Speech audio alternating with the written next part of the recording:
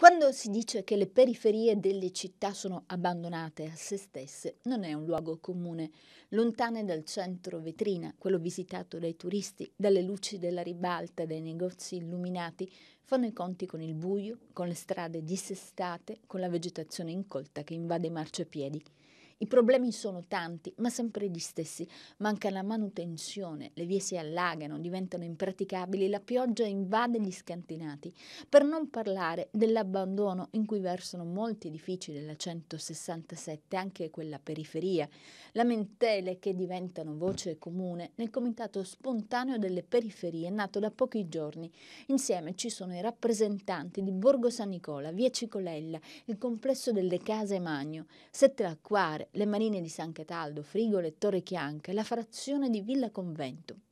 Aree di cui ci siamo occupati spessissimo nei nostri telegiornali e nella nostra trasmissione TR News Talk.